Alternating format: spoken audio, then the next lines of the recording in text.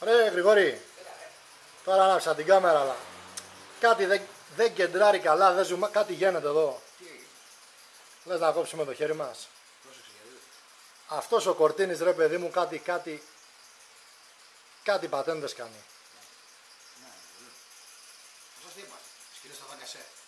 Αυτό είναι το δάγκασε σκύλος. Λοιπόν, θα στείλουμε τούτο εδώ το, το σωληνάκι στον Κορτίνη γιατί δεν το γυάλισε καλά.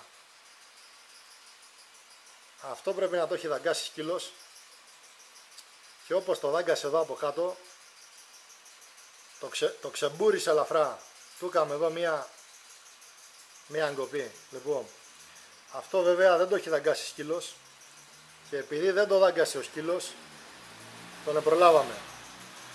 Αλλά όταν ο σκύλος το δαγκάνει μάλλον του κάνει σχέδιο. Συμφωνείς; Για πες εδώ μια καλησπέρα στο φίλο σου. Καλησπέρα Νικολάκη. Πιο δυνατά να ακουστείς. Καλησπέρα Νικολάκη. Και τον Μπαλόκα, δεν τον χαιρετήσουμε. Εννοείται το φίλο μου. Γεια σου Μπαλόκα. Πού είσαι Μπαλόκα; Εγώ το δω πρέπει να είναι σαν ξουράφι.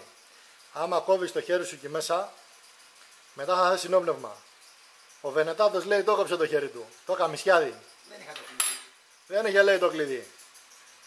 Είδες τα τσόκ της Κορτίνη τι κάνουνε κύριε Μπαλόκα;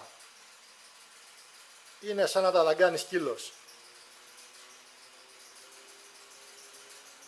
Και άμα βγάλουμε και το χαρτί που έχει εδώ μέσα και έχει και την υπογραφή, μάνα μου τα κλεφτόπουλα. Λοιπόν, γεια σας, γεια σας.